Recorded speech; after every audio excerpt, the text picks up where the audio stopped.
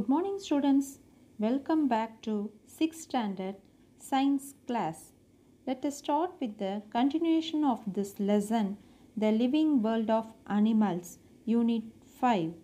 In this lesson, last week I explained about habitat of animals, biodiversity and difference between unicellular and multicellular organisms. Today we learn about adaptations in animals. If the animals live in particular habitat, they develop some special features in their body for surviving in that habitat. For example, fish has some special features in their body like gills, fins and scales which are help them to swim in water. Likewise, all animals have some special features to live in their particular habitat. Adaptation that means the presence of specific body features for certain habits which enable a plant or an animal to live in a particular habitat is called adaptation. That means if the plants or animals have some specific body features which help them to live in their particular habitat that is known as adaptation. So simply that the specialized features of animal is known as adaptation. Next we learn about adaptation of fish. That fish lives in both freshwater and marine water that is sea water. How the fish live in water and how it breathe in water and how it swim. Let us explain the specialized features of fish.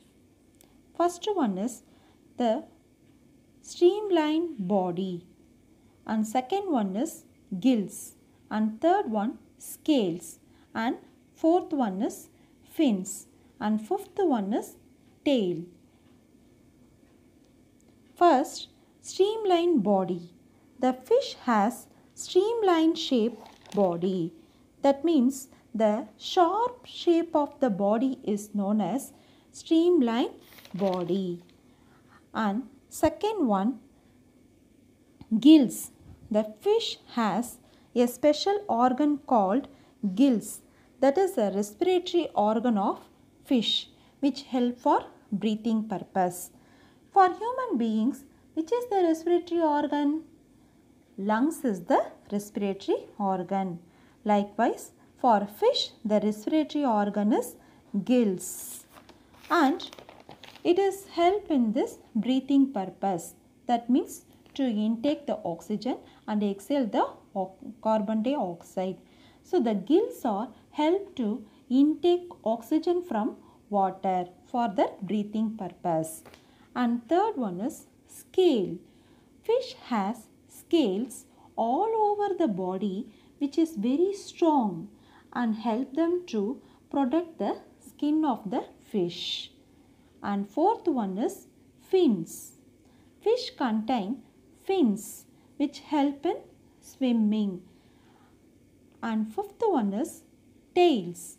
Fish has strong tail which help to change the direction while swimming in that water.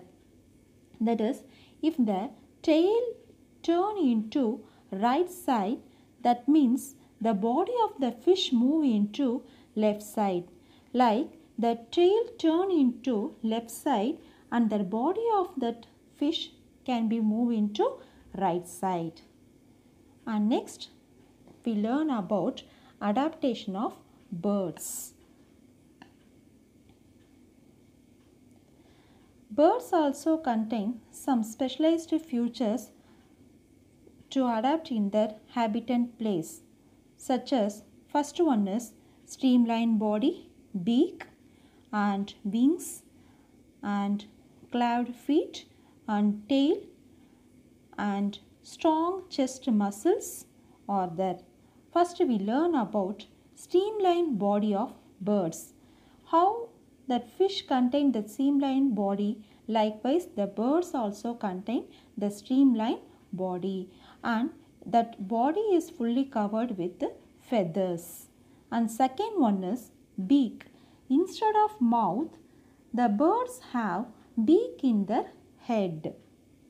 And third one is pair of wings. Birds, birds are breathe through lungs like humans and they have the pair of wings for flying in the sky.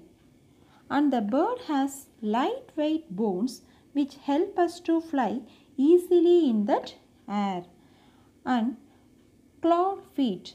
And birds has a pair of clawed feet which help them to hop, move, run and perch in branch of tree. That means the clawed feet give gripness to sit in the branch of the tree. And tail. Birds has tail which help them to control the direction of the movement.